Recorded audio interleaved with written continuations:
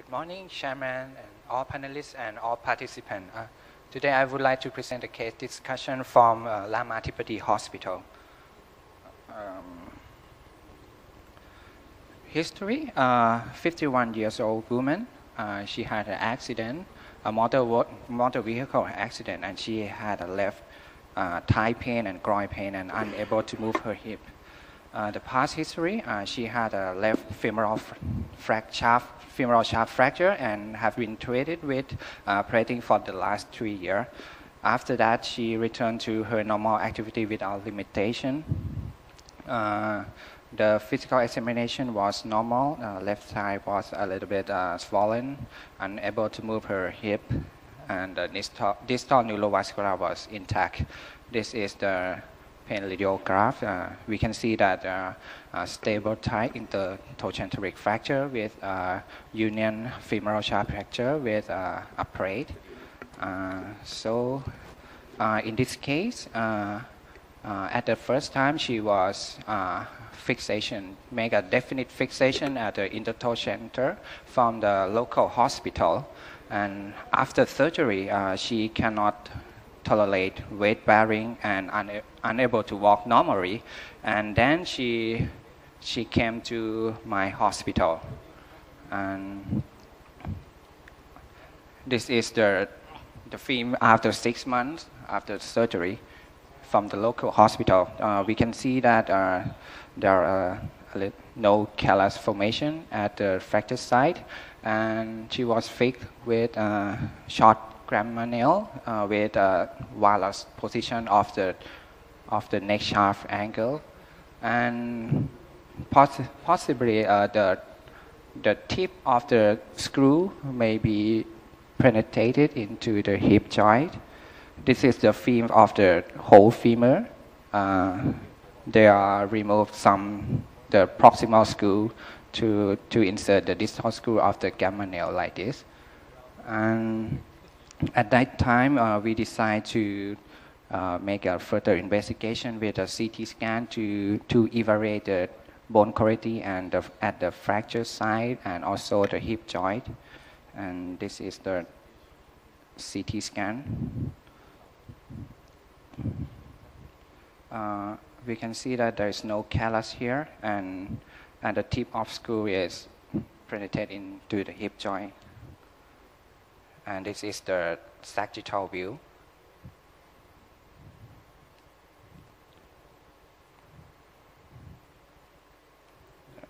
Here is penetrated some into the hip joint a little bit. Uh, okay, let's go next. And uh, the serology, there is no sign of infection from ESR and CRP. Mhm.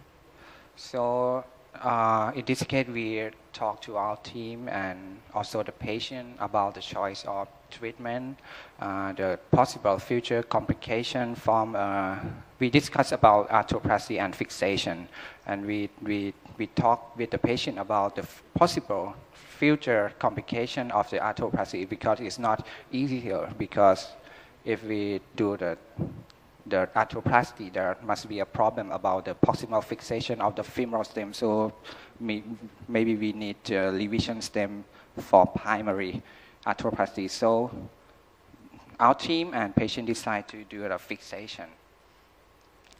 Uh, we, we, we did an uh, lateral crossweight valgus osteotomy uh, using angle blade plate fixation plus uh, iliac bone graft augmented with a position, po- uh, supine position with a radiolucent table and prep, preparation of the uh, skin preparation both legs. And this is the inter uh, X-ray. Uh, we, we design here uh, the guide wire the guide wire with uh, with the condyle plate guide uh, put in into the uh, inferior part of the of the femoral head because the bone is there and we want to make a valgus osteotomy. Uh-huh, and insert more guide and check the lateral and uh, we hit the, the the blade in like this and apply the angle blade plate and apply the uh, check the lateral and put the screw in and we can see that there's a gap here because we want to make some valgus uh, neck shaft. And we put the bone graft here and apply the screw. This is the post-operative film. Uh, for, unfortunately, we, uh, I, I break uh, some some uh, greater trochanter here, so so I have to wiring it to the to the plate and make a, a soft tissue suture with yes. And after two weeks after surgery, uh, the the fracture is still fine and uh, the plate position is good and there are some migration at the TT, but we still wait and see. And this is a six month everything healed and uh, there are some uh, degenerative change of the hip joint, but patient still fine. There's, she not doesn't complain about groin pain anything, and she uh, able to walk normally. Uh, thank you. Okay, thank you. Uh, may I invite Ajahn Kongkhet to, to have uh, comments about the initial fixation? Uh, I just start first with the diagnosis. The X-ray, the first X-ray, please. Okay. What what do you what's the the the panelists think? What is this uh, type of fractures? Simple, not so simple, or difficult one? Please. So for, for uh, diagnosis, if the fractures uh, start from the greater uh, trochanter to the lesser, so it should be like a kind of intertrochanteric. We can call it uh, like pertrochanteric fracture.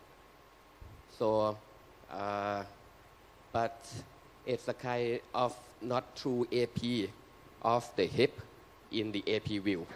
So to me, normally, I just want to make it more AP view by just maybe traction and then internal rotation. Or if there is pain, if the, the patient had, uh, has pain, then I probably tilt the X-ray a bit to get through AP.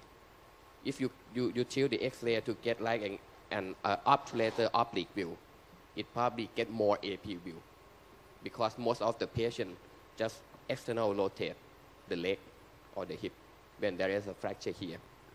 So it would be better in terms of getting a true AP and then you can see clear, more clear in terms of fracture pattern or configuration. Jamachrindu, what is your uh, idea for this uh, type of? โลครับ so for me I think that uh, the key point is the is the thin of the this line. Sure that uh, this is um, fracture here but uh, the point is I'm not sure about the, this uh, bone is, is strong uh, good enough until we can put the dynamic hip screw or not. So I think that the, the surgeon tried he not sure so he planned to do the the nail, one point. Uh, another thing that we learn a lot from the many, many cases that uh, sometimes that uh, we have uh, something like this, sometimes CT can show us that uh, how about the, the, the, depth of the, the bone, how, how much that do you have the bone stocks for, for this part. And uh, if you're not sure about the x-ray, sometimes it's difficult to, to, to make a clear two lateral x-ray on this view. Sometimes we do the CT scan for this. Okay.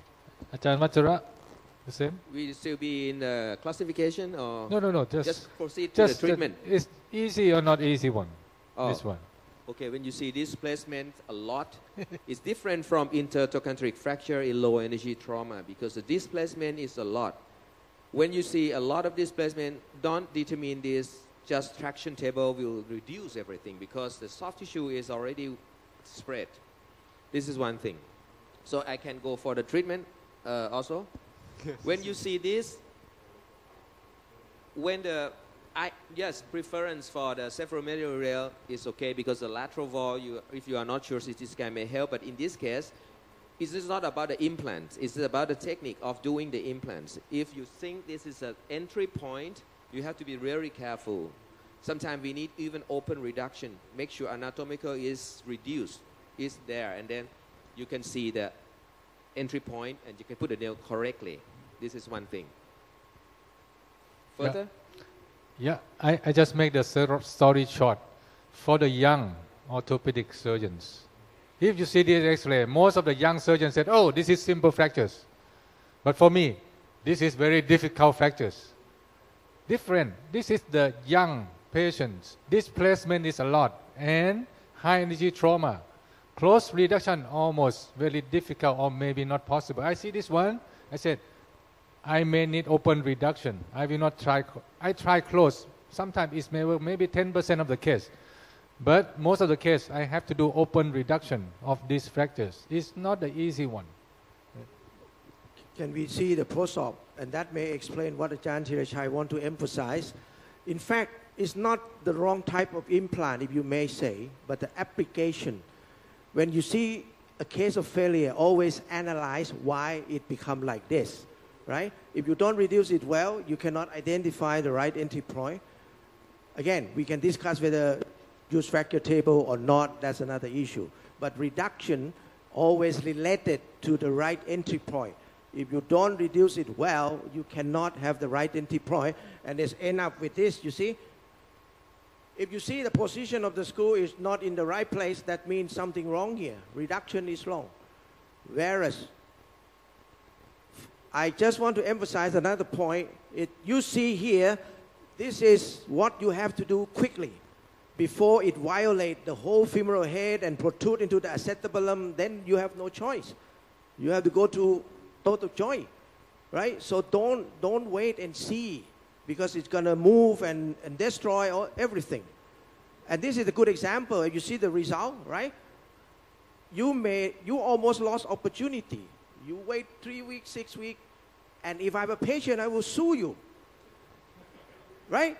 Instead of rewind with the implant, I have to do total hip because you, you don't treat me. Really? Okay. Please, Ajahn.